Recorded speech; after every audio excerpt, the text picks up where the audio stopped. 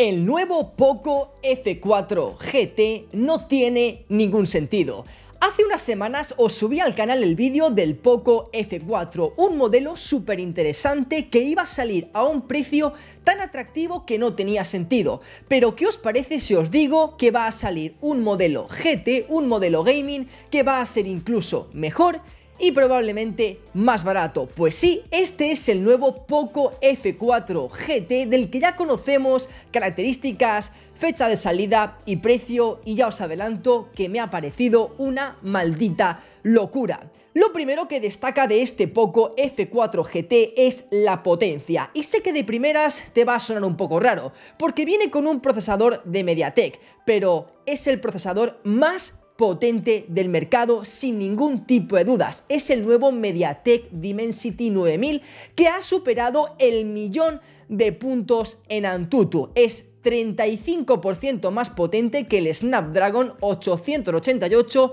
más potente que el Apple A15 Bionic, más potente que el procesador de Exynos, los procesadores de Kirin. A día de hoy es el procesador más potente jamás montado en un smartphone. Además está construido en 4 nanómetros, con todas las ventajas que ello conlleva, lo que significa que el Poco F4 GT va a ser el smartphone más potente del mercado cuando se presente y va a ser uno de los que mejor autonomía nos den. No solamente porque el procesador gestiona muy bien la batería, sino porque además vendrá con más de 5000 mAh de batería, lo que personalmente me parece una muy buena opción. Además, al igual que ya vimos con el Xiaomi 11T Pro, incorporará una super carga rápida de 120 vatios que promete cargar el 100% de la batería en aproximadamente unos 18-19 minutos. A día de hoy me parece una alternativa súper interesante. Pero no nos quedamos solamente aquí, sino que también tenemos que hablar de la pantalla.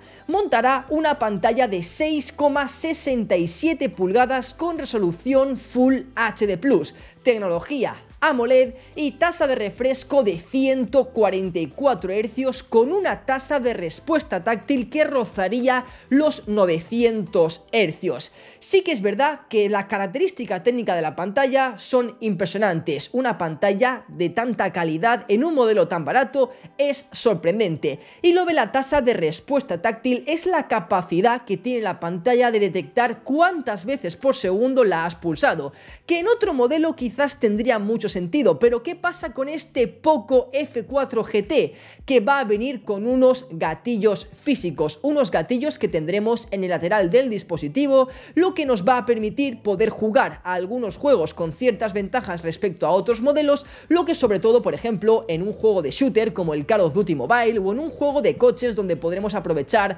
para frenar, para cambiar marchas, etcétera, puede marcar la diferencia entre ganar o perder la partida. Y ya os adelanto que esto los gatillos. Si lo tuyo no es un jugar en el smartphone, quizás no tiene mucho sentido, pero si tú eres una de esas personas que te encanta jugar con tu smartphone y tampoco quieres gastarte mucho dinero, te puedo asegurar que estos gatillos con este Poco F4 GT no van a tener rival. Por supuesto, en el apartado de la conectividad vendrá muy completo ya que tendremos 5G, Wi-Fi 6, Bluetooth 5.2, USB tipo C, tendremos NFC, altavoces en estéreo para que la experiencia en cuanto a jugabilidad sea lo mejor. No nos quedamos solamente aquí, porque una de las grandes mejoras que van a tener todos los Xiaomi, todos los Redmi y todos los Poco a partir del 16 de diciembre, como os comento en un vídeo, es la nueva versión de MIUI, es decir, MIUI 13 que en teoría, faltará probarlo, soluciona todos los errores y problemas que tienen los Xiaomi a día de hoy. Todos esos bugs, todos esos cierres forzosos de aplicación, esa batería que baja tan rápido sin ningún sentido, con MIUI 13 se haber corregido. Y no solamente esto, sino que además van a implementar nuevas funciones que van a hacer que tu experiencia utilizando un Xiaomi, un Redmi o un Poco en este caso sean mucho mejor. En teoría, esta nueva capa de Poco que han presentado que es Poco UI, que es una capa independiente de Xiaomi, pero que ya os adelanto que está basada 100% en MIUI 13, debería darnos algunos añadidos y por supuesto, como buen smartphone gaming, tendremos apartados de ajustes especialmente para potenciar el smartphone cuando estamos jugando y poder deshabilitar las notificaciones, tener un modo Game Turbo, cosas que van a hacer que nuestra experiencia pues sea un poco más completa.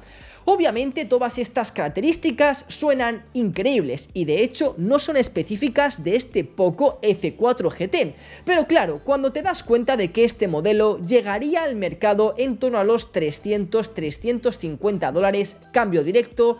no tiene sentido, de verdad, no consigo entender cómo han podido montar esa pantalla, ese procesador, esa batería, carga rápida de 120 vatios, es que de verdad no lo consigo entender. Claro, el único recorte que han hecho y que tiene sentido son las cámaras, pero tampoco te pienses que son unas cámaras malísimas, porque de hecho su cámara principal es de 108 megapíxeles, fabricada por Samsung. También tendremos una cámara gran angular, una cámara macro y sí, al igual que no tenemos una cámara teleobjetivo en los Xiaomi Mi 11, 11T y 11T Pro, tampoco te esperes que la tenga este Poco F4 GT, pero parece que esta línea de Xiaomi ya va siendo muy clara en cuanto a la configuración de cámaras, así que creo que tampoco se le puede pedir más lo que nos está ofreciendo este Poco F4 GT relación calidad-precio. Y ahora te estás preguntando, genial, me ha encantado, estoy deseando comprarlo. ¿Cuándo va a salir a la venta? Pues en teoría entre finales de marzo y principios del mes de abril. Si no hay problemas con retrasos debido a toda la escasez de microprocesadores que está habiendo a nivel mundial,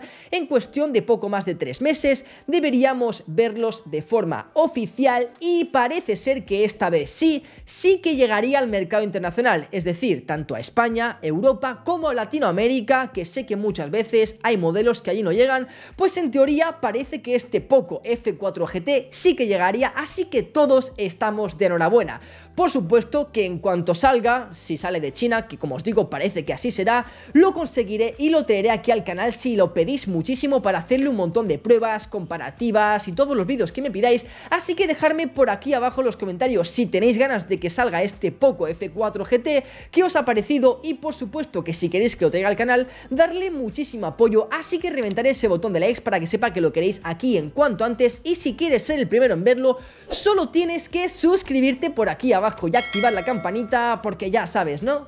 Que esto es Intelector y nos vemos en un próximo vídeo.